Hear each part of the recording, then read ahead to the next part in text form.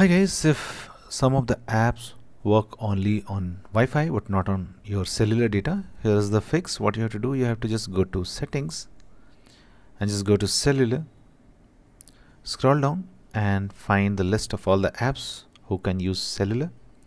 So if a particular app has been turned off in the cellular section, you cannot use and this app will not work on cellular data.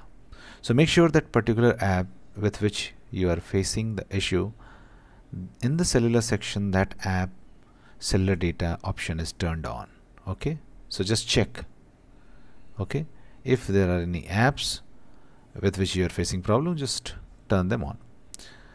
Now this is the method 1 if this does not work you can go to for the method 2 and that is just go to settings and then go to general and scroll down and find transfer or reset iPhone. Tap on reset and tap on reset network settings.